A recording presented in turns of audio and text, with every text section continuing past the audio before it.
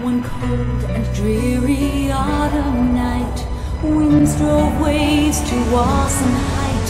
Our captain steered the ship with skill, in hopes of reaching safety. Still. All those aboard wore looks of fright, for just below and out of sight, halibut rock barely submerged as onward we to disaster surge.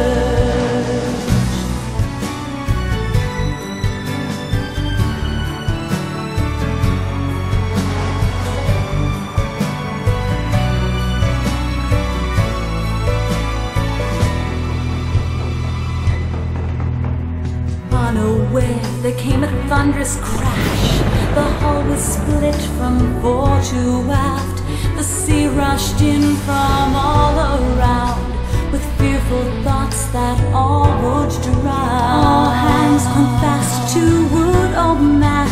in hopes the melee to outlast. Our ship no match for merciless waves, and they were swept to their watery graves.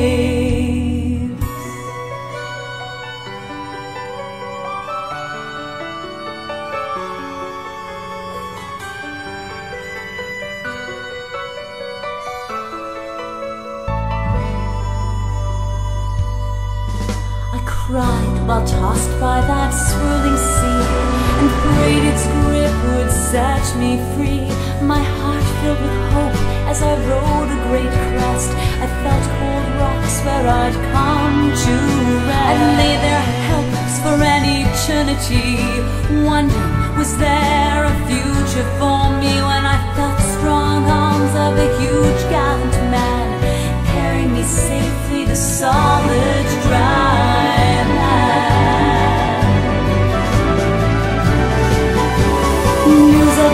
soon spread far and wide. Many folks came to see me, the child who survived. Much talk about Peggy, my now famous name. Though nobody knew from whence I came. Let's go see Peggy of the Cove. And they would say, at least that's the story